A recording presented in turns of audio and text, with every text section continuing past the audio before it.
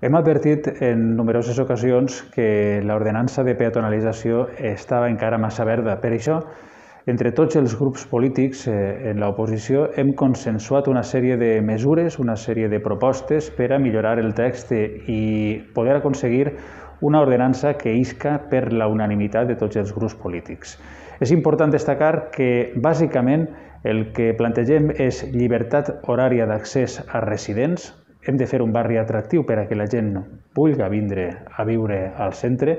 Ampliem els horaris de càrrega i descàrrega per als comerços i els establiments. Donem llibertat per a que el repartiment de menjar a domicili es puga fer a qualsevol hora del dia i també plantegem la possibilitat que tant les bicicletes com els patinets puguen circular els set dies de la setmana i no només durant els dies entre setmana, que és el que plantejava el govern. Pensem que el debat està obert, pensem que hem de tractar d'apropar